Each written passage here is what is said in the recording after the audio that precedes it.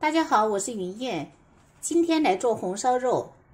看看这红烧肉，色泽金黄，筷子一夹就烂了，软糯入味，是一道非常好吃的家常菜。有兴趣的朋友可以看看我是怎么做的吧。买了两斤五花肉，把五花肉的皮放在锅里烫一下，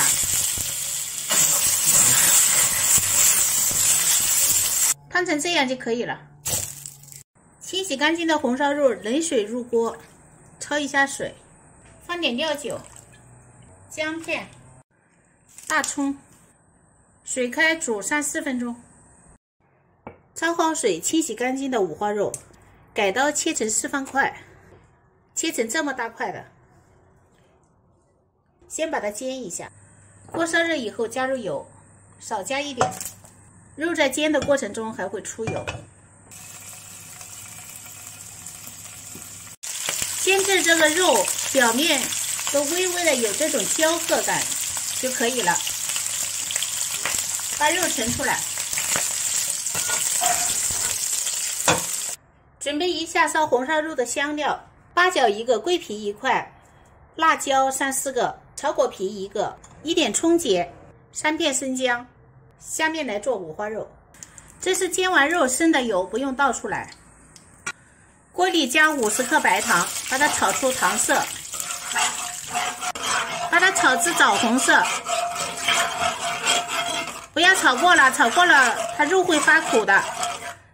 再倒入前面煎好的肉，把它翻拌均匀，加入前面的香料，把它炒一下，加入黄酒十克，生抽十克，五克老抽。这个王致和的腐乳汁加十克，盐加总量的一半，四克左右，还有另外一半出锅前再放。糖也加总量的一半，五克。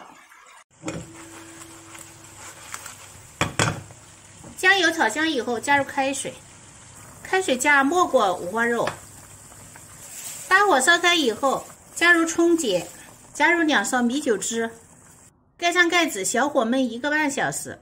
一个半小时以后再来看，这小火已经炖煮了一个半小时，看起来这颜色非常的漂亮。开大火把汁收一下，然后再加剩下的一半的盐，四克左右，剩下的一半的糖，五克左右。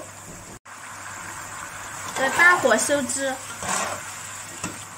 这肉现在看起来非常的有食欲。这汤汁已经收的差不多了，就可以盛出来了。这红烧肉不需要把汤汁收干，留一点汤汁更好吃。这拿一个盘子，把这五花肉摆在这里面。现在这个肉非常的软糯，入口即化。这一道香喷喷的红烧肉就做好了，上面撒一点小葱花。看看这，这红烧肉非常的有弹性，入口即化。喜欢吃红烧肉的，试着做一下。我是云燕，下期见。